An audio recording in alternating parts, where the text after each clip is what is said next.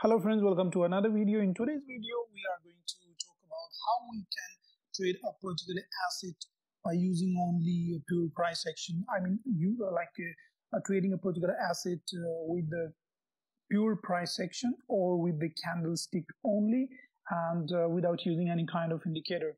In this video, I'm going to take an example of uh, GBP, JPY and gold but uh, this analysis is true on any kind of pair whether that's from uh, like a forex, a commodity, crypto, as a stock market or indices. So without wasting any time, let's get started.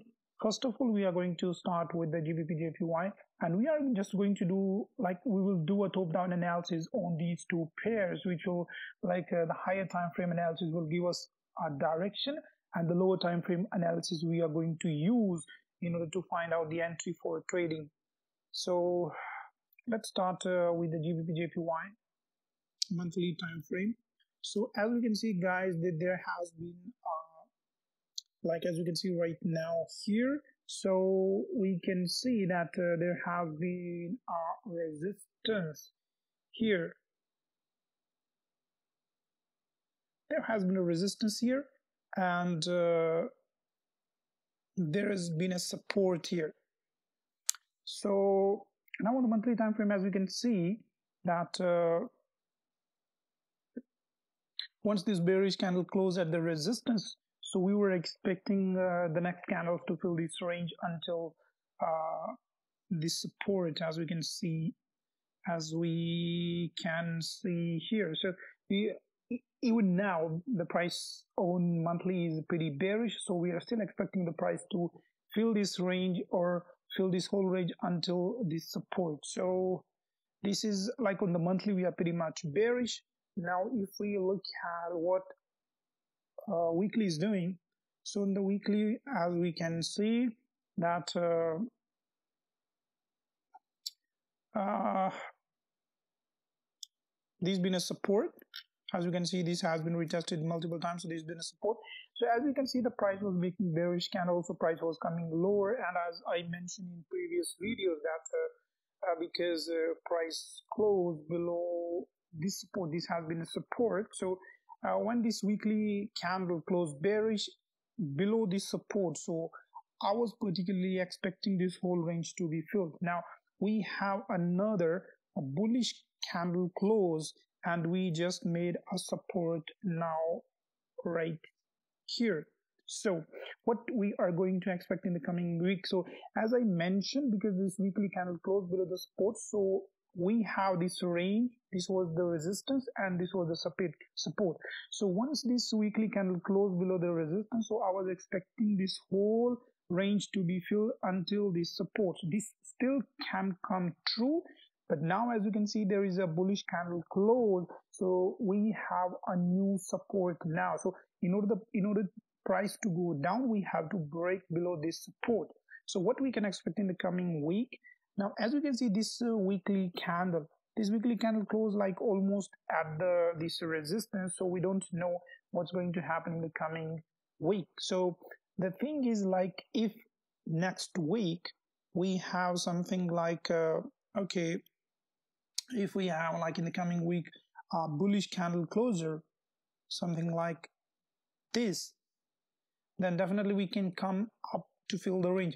Now, as we can see here that there is another uh, resistance until here. So if we, if we like, uh, so if this bullish candle close below this one, it closed bullish, but below this resistance, then definitely we can come up to fill this range. But if this weekly candle close like uh, uh, let me show you that if this uh, weekly candle suppose uh, close like okay like this. This weekly candle close bullish above this resistance. Then what we're going to have then what's going to happen and what we're going to expect? Then we know that there is a resistance above here right? There is a resistance above here. This is going to be a whole range now. This is going to be a range. This is the support. This is the resistance. Now this weekly candle is closing in this range so we are expecting the next candle to fill this range until until the price here. So that's what's going to happen.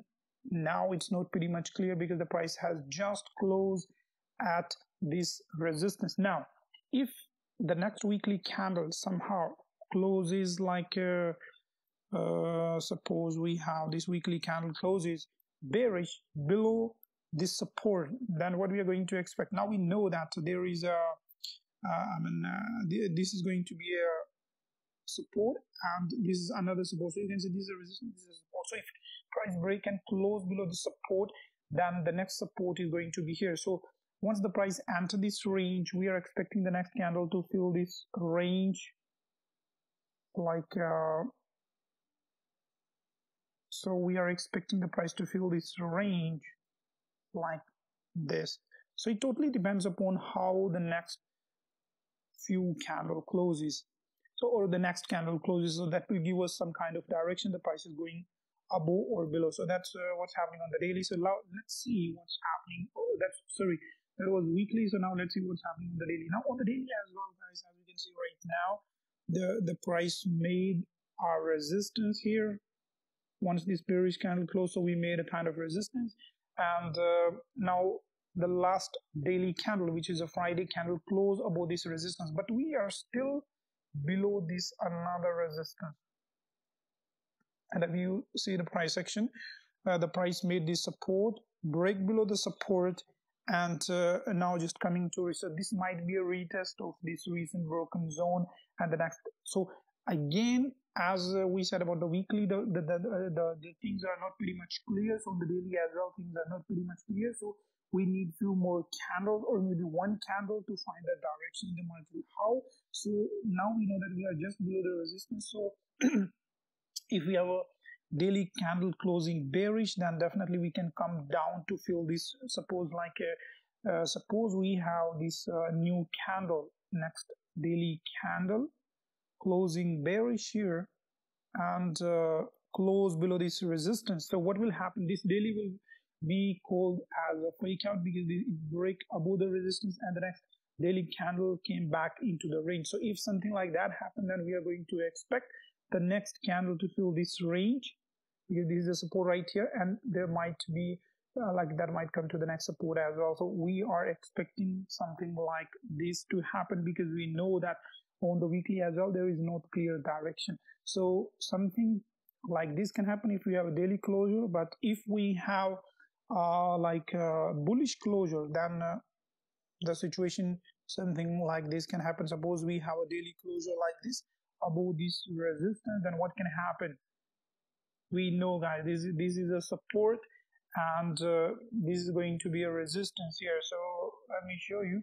This is a support and uh, although this is also going to be a resistance here but uh, the final resistance is right here. So we can say that okay so we can say that okay uh, this is a support this is a resistance. So if the price close above this uh, um, support resistance whatever we call it if we close above this so price will come into this range. Once we enter the range we are expecting the next candle to fill this range.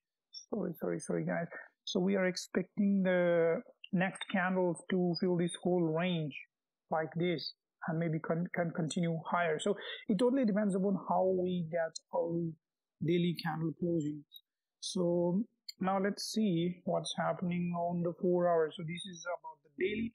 On the four hour guys, as we can see right now, the, this is going to be a resistance zone and this is going to be our resistance zone as well. As you can see guys, once the price was coming higher, price made resistance. Here, get rejected and now uh, came up higher. We got this uh, bullish candle closure above this resistance. So now because this is going to be a range this was going to be the support this one is going to be the resistance. So once the price close above this resistance or came into this range close into this range so we were expecting the next candle to uh, to come up higher and fill this whole range something like this but that never happened and why it never happened?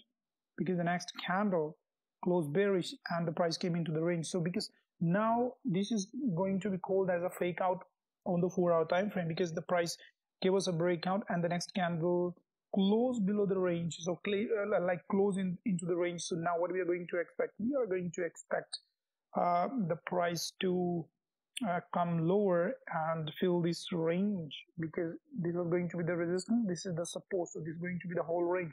So now we are expecting something like this to happen on the four hour time frame. So that's about the four hour but if that doesn't happen and the price again came into this another range so we will expect the price to fill uh, fill this range on the higher side. I mean if we have something like a bullish closure again into this range again. So what are we going to have? What are we going to expect? We are going to expect the filling of this range again. So that is how it's going to work out. Now let's check what's happening on the lower time frames one hour and 30 minutes. So let's go to one hour and 30 minutes. Now on the one hour and 30 minutes guys so if we see the last resistance so we can say that okay this is going to be the resistance price came here and here. So let's come a little bit higher because this was the previous resistance on the 30 minutes and here also price touch and uh, touch that and came lower. So if we see this is going to be uh, support here and uh, if we see like the next support can be this one and um, this one so what we are expecting right at the moment guys? So as we can see this has been a resistance price came and rejected this area. So now if we get a break and close above this area then definitely we are going to expect uh, we, we are expecting to fill this range on the left hand side. As we can see this has been a resistance price.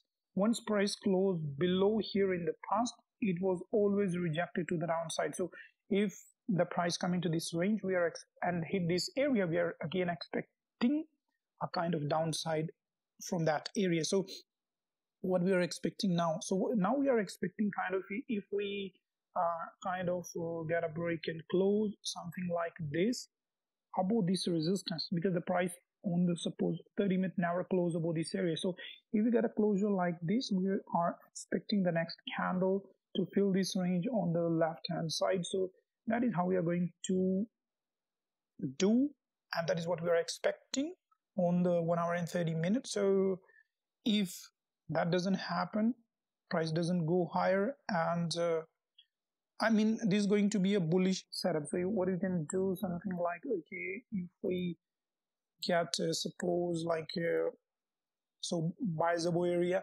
So if uh, how we are going to look for the short? So if uh, like on the higher time frames as well we know that this has been a strong area on the four hour and uh, on the daily as well. So definitely uh, definitely if we get a break and close below this area on the price so we can look to go short. So suppose something like this happens if you get a break and close okay okay just uh, just a second just a second. Let's modify this area because uh, this been a support right here so there is another support right here. So let's drag this support here. Because now we have a clean range on the left hand side and there is another clean clean range. So now we are expecting the price to give us a break and close below this area so that we can use this range as the target. So what we are expecting now guys we are expecting the price to give us something like this a close on 30 minute or one hour below this support. Once that happen we are going to like with the next candle we are going to expect to fill this range because we see that it's a clean range or maybe this whole range. So that is how we are going to expect in the next candles. So that is how guys we can just uh, that is how we can analyze the market from um, higher time frame monthly weekly daily four hour one hour 30 minutes. And that is how we can find out trading setups for the day-to-day -day, like intraday trading setups or scalping trading setups and I mean, it's the same method, same analysis that we are using on each and every time frame. So it's, it's very simple. We are not using any kind of indicator. So same kind of analysis we can use on the gold as well. So let's see.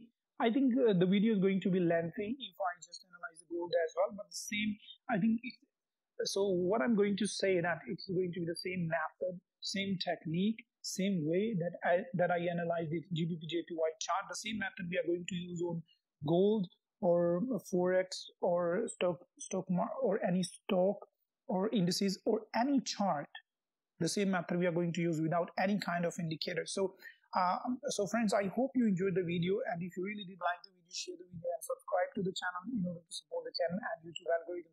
Thank you very much. See you in another video